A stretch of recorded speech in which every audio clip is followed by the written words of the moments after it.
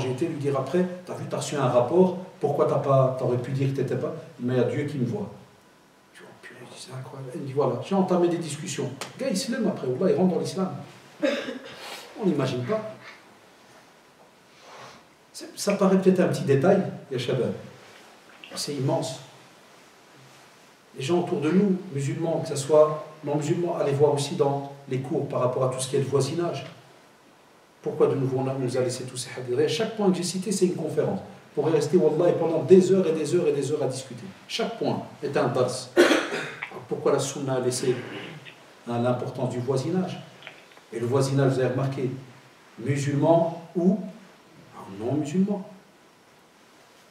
Aujourd'hui, dans les débats, vous avez remarqué, hein, certains débats qui passent à la télé, on arrive à la fin de l'Ardaliko, certains débats qui passent à la télévision, très souvent, je me dis que si nous, les musulmans, on corrigeait un tas de, mauvaises choses qu'on, laisse apparaître à gauche à droite, Wallahi, 99% de ce qu'on entend, ils n'auraient plus de choses à dire.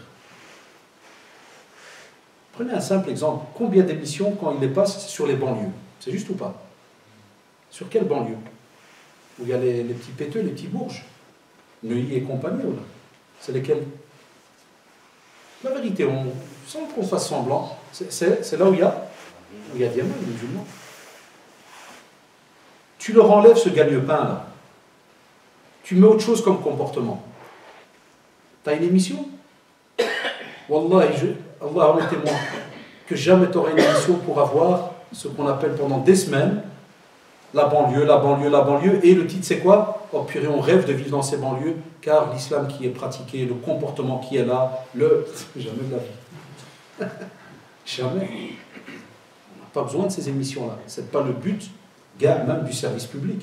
Ce n'est pas son but de faire de la pub pour la religion. C'est juste ou pas? C'est même le traité par excellence de, la laïcité, donc ce n'est pas le but. Mais à l'inverse, oui. Quand on a des jeunes, c'est que voilà, pour X ou X raisons, font n'importe quoi, là les émissions elles passent. Donc ça vous prouve qu'on a des mots-clés dans notre religion de la Dalikoum, qui, subhanallah, quand ils sont mis en pratique, ces mots, Allah, ils peuvent changer toute une société. Parmi ces mots, le comportement.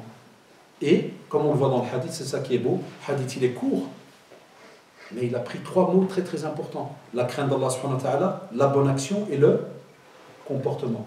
C'est pour ça qu'on, je parle pour moi-même d'abord, et vous aussi je l'espère, c'est pour ça que j'aime bien décortiquer comme ça les, petits hadiths, c'est du côté aussi social, de ce qu'on vit autour de nous.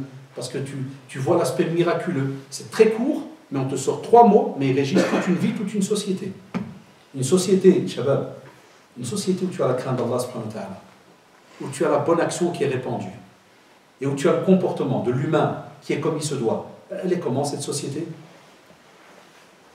Eh bien, c'est la même société que tu retrouves au temps d'Abu Bakr, à partir déjà du prophète, Mais pourquoi j'ai cité Abu Bakr? Parce que je vais toujours sur l'idée de le prophète a transmis, il aura inculqué des bases. Alors maintenant, on va voir ces communautés qui sont venues juste après, qu'est-ce qu'elles ont fait? Regardez la, la période d'Abu Bakr, je parle des musulmans, je ne parle pas de ceux qui venaient attaquer, embêter, ou parce qu'Omar Khattab a été assassiné. Ça, vous le savez. Donc il a été assassiné. Mais enlève l'assassinat. On parle des témoignages des gens sur sa période. C'était comment? Le top. Tu peux monter jusqu'à Omar ibn Abdelaziz. C'était comment? Dans certains califats qu'il y a eu. Ouzid, ouzid, ouzid.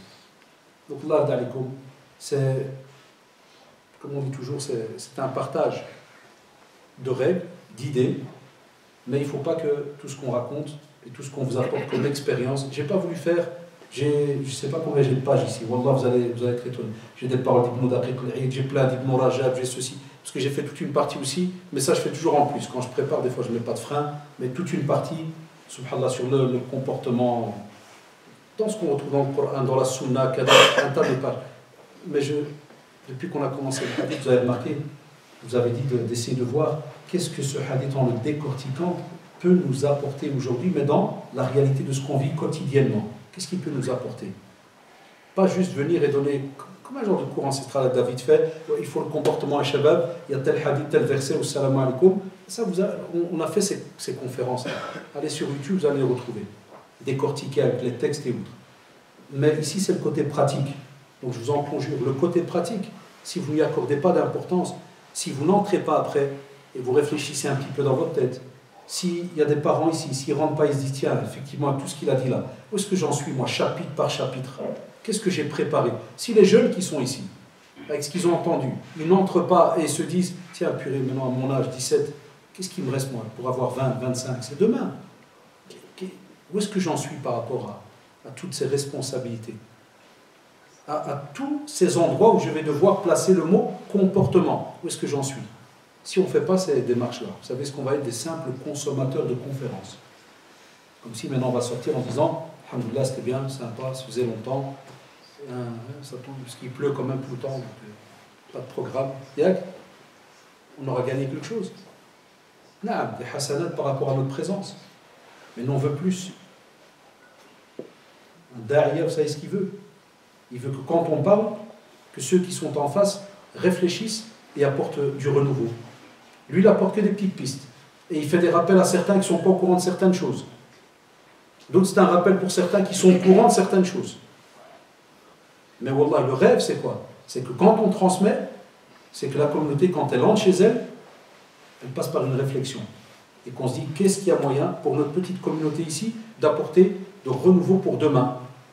Et chacun d'entre nous, à Shabab, au plus un il bouge, au plus il y a le baraka. Wallahi, au plus un il bouge. On a toujours la tendance de se dire ah, d'abord, maintenant c'est comme ça, qu'est-ce que tu veux qu'on fasse au cas Là, Bouge à ta manière.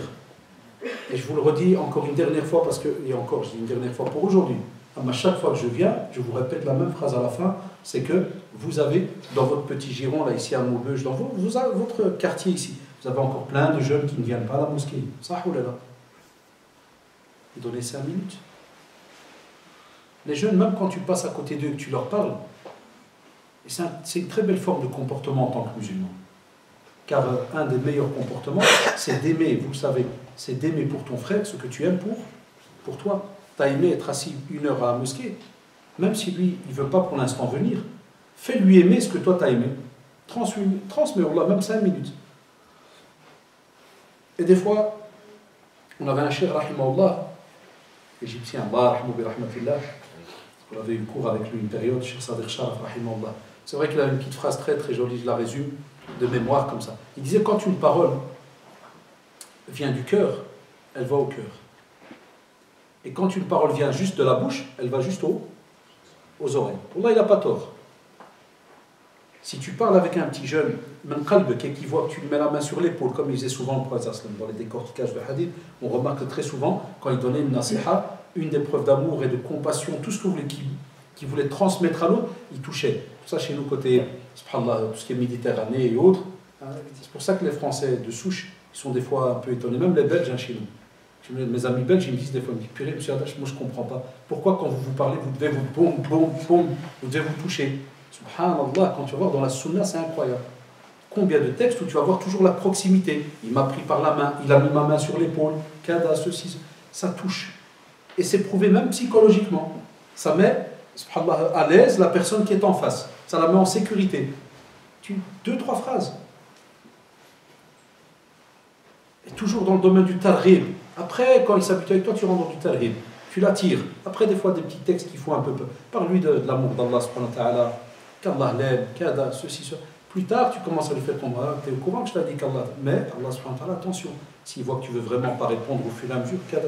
Donc Allah va aller comme transmettez, transmettez ces, ces, quelques idées, quelques valeurs, et qu'Allah subhanahu wa ta'ala vous préserve. Allahumma arina al-haqqa haqqan warzuqna ittiba'a. اللهم أرنا الحق حقا وارزقنا اتباعه وأرنا الباطل باطلا وارزقنا اجتنابه وأرنا الباطل باطلا وارزقنا اجتنابه اللهم إنك عفو كريم تحب العفو فاعف عنا اللهم إنك عفو كريم تحب العفو فاعف عنا. اللهم ألف بين قلوبنا. اللهم ألف بين قلوبنا. اللهم سدد خطانا. اللهم سدد خطانا. اللهم وفقنا لما تحبه وترضاه. اللهم وفقنا لما تحبه وترضاه. اللهم اشف مرضانا. اللهم اشف مرضانا. اللهم ارحم مشايخنا. اللهم ارحم مشايخنا. وارحم والدينا. اللهم ارحم والدينا. ربنا آتنا في الدنيا حسنة وفي الآخرة حسنة وقنا عذاب النار. سبحانك اللهم وبحمدك أشهد أن لا إله إلا أنت أستغفرك وأتوب إليك. سبحان ربك رب العزة عما يصفون وسلام على المرسلين الحمد لله رب العالمين.